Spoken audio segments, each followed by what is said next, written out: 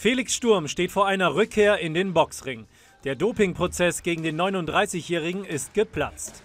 Die achte große Strafkammer in Köln lehnte die Eröffnung des Hauptverfahrens ab, da kein hinreichender Tatverdacht gegen den Ex-Champion laut Anti-Doping-Gesetz bestehe. Das bestätigte Sturms Anwalt dem SID.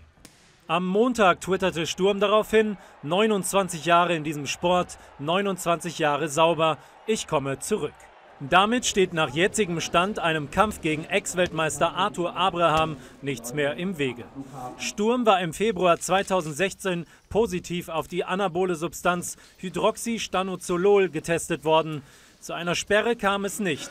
Sturm hatte seinen WBA-Titel im Supermittelgewicht im Oktober 2016 niedergelegt und seitdem auch nicht mehr im Ring gestanden.